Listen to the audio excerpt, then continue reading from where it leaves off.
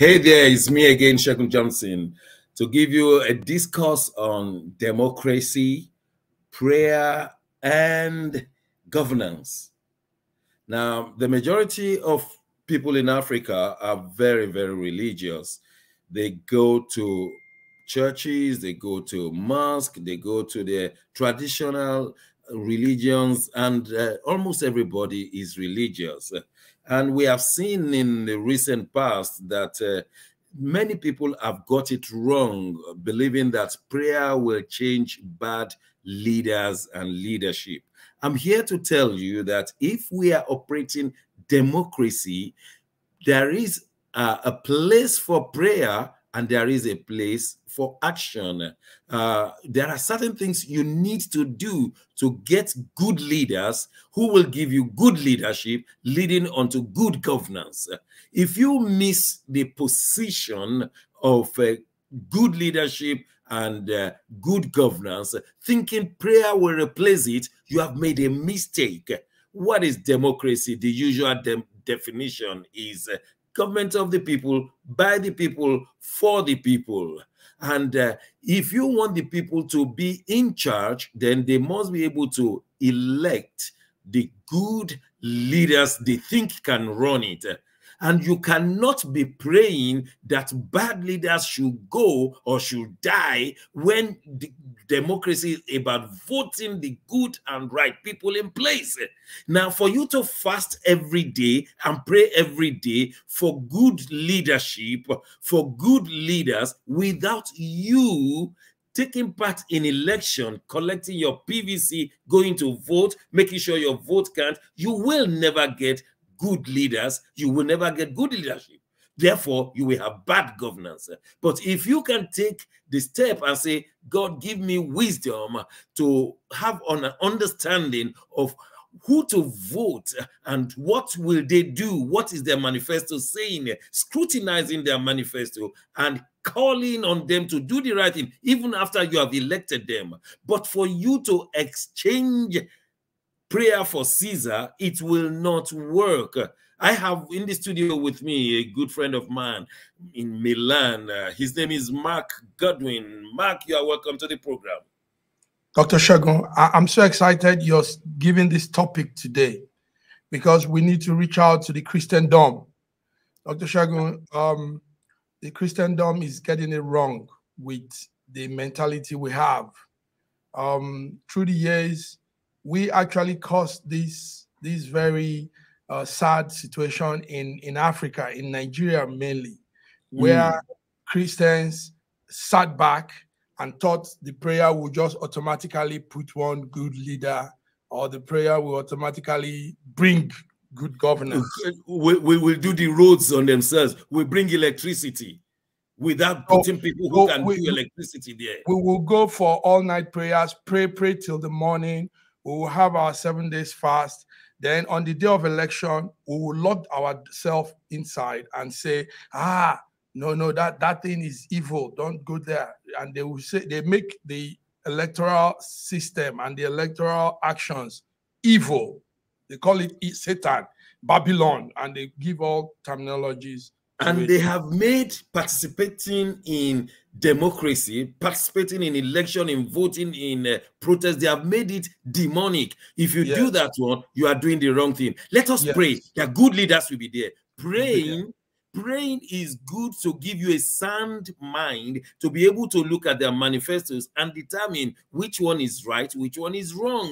It's not about just uh, praying 721 days fasting for Nigeria, 23 days thereafter. Immediately after that, 70 days, I'm praying without telling them what to look out for, who is who is bringing electricity, who is bringing good roads, who is bringing good airports.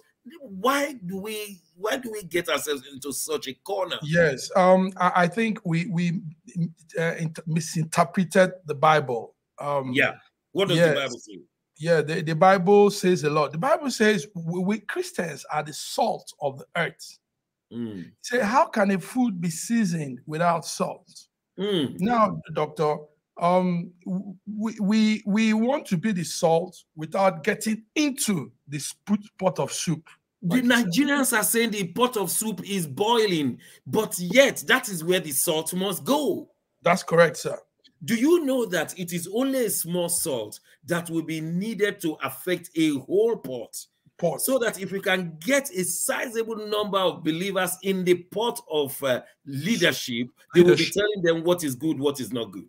And they the Bible also says we are the light of the world. Come on now. You can't have a light and hide it under uh, the, the bushel. That's the what bushel. it says. So now the Christians have all this knowledge, have all this understanding of God, of existence. And they're hiding and in the hiding. 21 days of fasting and Hiding, doctor. Mm. We're hiding.